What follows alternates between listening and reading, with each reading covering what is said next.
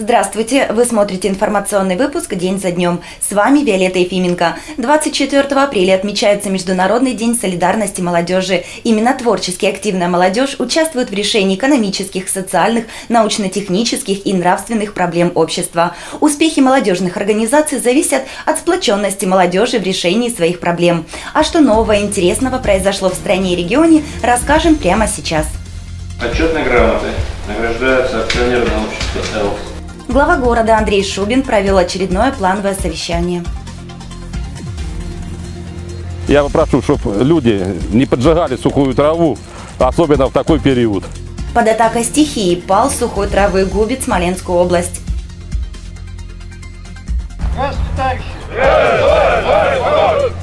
Десногорская полиция готова к весенне-летнему сезону. Это наш первый опыт как бы мы никогда не делали мюзиклов. Выступление студии эстрадной песни «Ренессанс».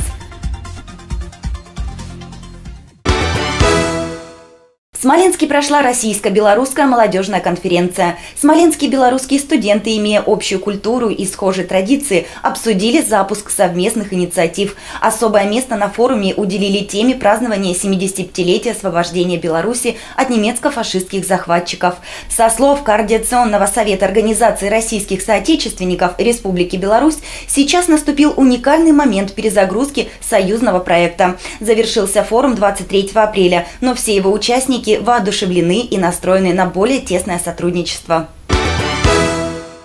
23 апреля в администрации города состоялось плановое совещание представителей городских инфраструктур. Началось собрание с торжественного награждения лучших уполномоченных по охране труда. Подробности в сюжете. Грамотами главы муниципального образования город Десногорск удостоились акционерное общество «Электроцентр Монтаж», акционерное общество «Элс» и муниципальное бюджетное учреждение «Детский сад Дюймовочка». Данные предприятия заняли первое место в городском конкурсе «Смотре» «Лучшее состояние условий и охраны труда в организациях за 2018 год», учитывая численность работников в данных организациях. Также глава города вручил благодарственные письма уполномоченным по охране труда, дезактиваторщику Смоленская АЭС-сервис Лученковой Ивановой Ирине Григорьевне, занявшей в конкурсе первое место, ведущему инженеру по эксплуатации отдела радиационной безопасности филиала концерна «Росэнергоатом» Веснову Алексею Олеговичу, занявшему второе место. Почетным третьим местом глава наградил Басова Григория Валерьевича, слесаря-ремонтника пятого разряда акционерного общества «Атом Транс». После памятного фотоснимка плановое совещание продолжилось. Коммунальные службы города сообщили о готовности завершить отопительный сезон. Отключение назначено на 24 апреля. Месячник по уборке города проходит результативно, и коммунальщики готовы к финальному субботнику 26 апреля. Проводится и активная работа с горожанами. Заканчивается у нас проведение общего собрания собственников в доме номер 15 второго микрорайона. Активность собственников высокая, э, там рассматривается в том числе решение по установке площадки для сбора твердых коммунальных отходов. 26 апреля на площади администрации Десногорска в 10 часов утра состоится мероприятие, посвященное Дню памяти погибших в радиационных авариях и катастрофах. Приглашаются все неравнодушные. В преддверии празднования 74-й годовщины Победы в Великой Отечественной войне в Десногорском историко-краеведческом музее начал работу пункт «Бессмертный полк». Музей находится по адресу 3 микрорайон, строение 15А, дробь 1. Здесь десногорцам оцифруют фотографии погибших родственников для участия в праздничном шествии 9 мая. Виолетта Ефименко, Александр Ерофеев, Светлана Разганова, Десна ТВ. Жители Смоленска теперь могут проверять очередность детские сады через интернет. Для этого необходимо иметь подтвержденную учетную запись на портале госуслуг. Затем в разделе «Семья и дети» необходимо выбрать услугу «Проверить очередность детский сад» и ввести номер очереди, полученный при подаче заявления. Место в очереди отобразится через несколько секунд. Узнать, сколько времени осталось ждать своей очереди в детский сад, могут и те горожане, которые подавали бумажные документы лично в управлении. Интернет-услуги услуга доступна для всех. Поджоги сухой травы по неосторожности или умышленно приводят к бедствию уже областного масштаба. Задыхается в дыму и Десногорск. Подробности далее.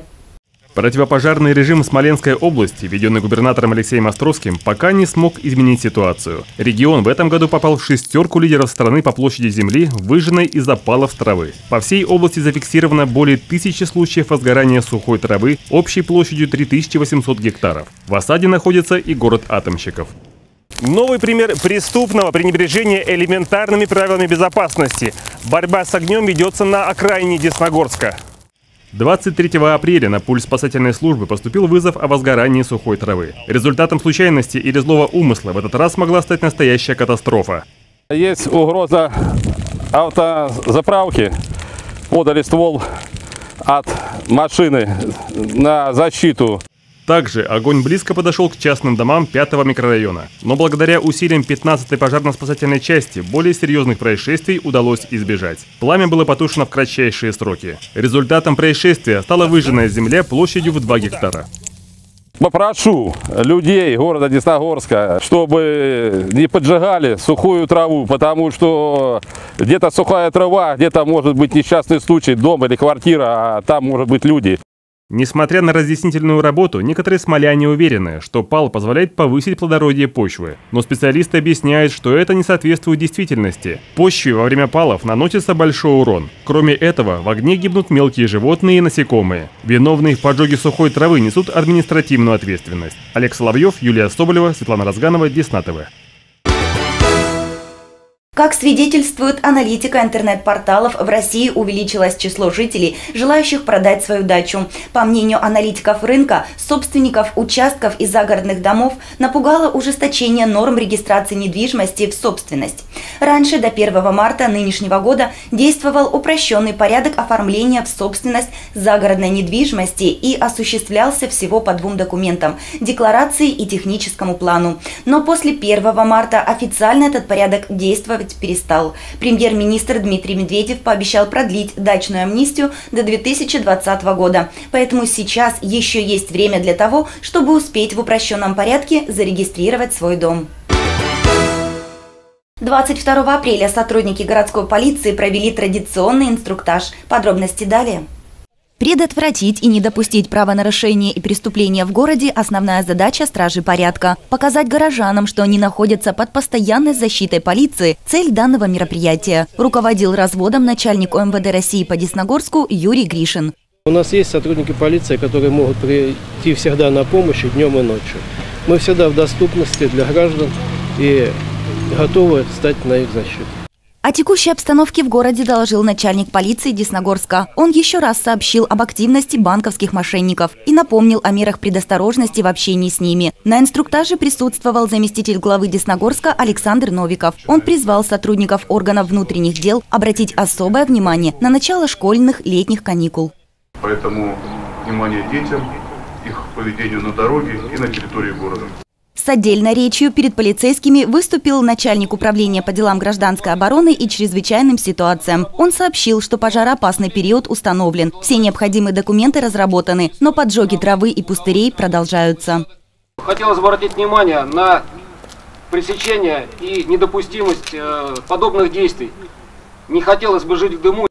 Далее по плану инструктажа состоялась проверка документов личного состава, который будет нести службу в весенне-летний период. Закончилось мероприятие показом силовых упражнений, используемых при захвате злоумышленников. Вилета Ефименко, Александр Ерофеев, Светлана Разганова, Десна ТВ. Осторожно, корь. Как сообщает управление Роспотребнадзора по региону, в Смоленске зарегистрировано уже три случая кори. Корь – острая вирусная инфекция, одна из самых заразных среди детских болезней. Но в Смоленске заболело трое взрослых. Сейчас медики проводят эпид-расследование, выявляющее лиц, контактировавших с заболевшими. Случаи заболевания произошли, вероятнее всего, из-за отсутствия у смолян прививки от кори. Напомним, что с апреля 2019 года на Смоленщине стартовала дополнительная кампания кампании вакцинации против кори. Масштабный мюзикл по следам бременских музыкантов – авторская постановка в исполнении студии эстрадной песни «Ренессанс». Интерпретацию классического сюжета удалось посмотреть и нашим корреспондентам. Любовная история, брак по расчету, обман и, конечно, счастливый конец. Это не сценарий современной драмы. В этих сюжетных перипетиях можно узнать приключения героев мультфильма «Бременские музыканты». Примерить на себя образ ярких персонажей решили артисты студии эстрадной песни «Ренессанс» на сцене Центра культуры и молодежной политики. Удачно подобранный сюжет истории позволил в полной мере раскрыться участникам коллектива. Талантливая актерская игра и яркие вокальные партии произвели должное впечатление на всех зрителей. По легкости и гармоничности постановки мюзикла невозможно было сказать, что такая форма выступления для коллектива в новинку. Но энергии и таланта 12 артистов спектакля хватило до прощальных аплодисментов зрителей.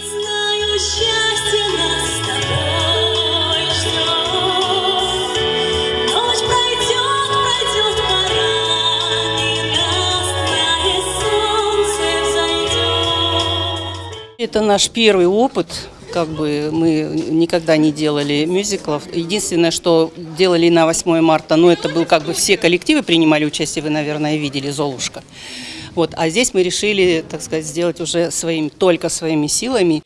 Самодеятельный коллектив студии эстрадной песни «Ренессанс» в этом году стал лауреатом областной премии в номинации «Лучший творческий коллектив». Участие в подобных спектаклях под руководством Галины Реневой для некоторых артистов определяет и дорогу в будущее. Они продолжают свой путь в ведущих творческих вузах страны. Олег Соловьев, Юлия Соболева, Светлана Разганова, Десна.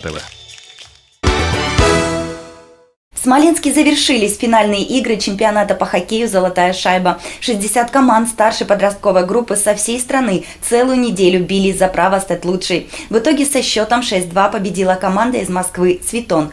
Им уступила Уфимская хоккейная школа имени Азаматова. Участие в играх смоленских хоккеистов не осталось незамеченным. У ребят появился шанс продвинуться в профессиональном спорте. А смоленские болельщики по достоинству оценили финал самой зрелищной возрастной группы. По После непредсказуемого матча и торжественного награждения победителей для участников ледовых баталий было организовано грандиозное лазерное шоу. И коротко о погоде. 25 апреля в Десногорске переменная облачность. Днем до плюс 20 градусов тепла, ночью до плюс 8. На сегодня это все новости. Все самое важное и актуальное не только на нашем телеканале, но и на сайте desnadifistv.ru. С вами была Виолетта Ефименко. До новых встреч!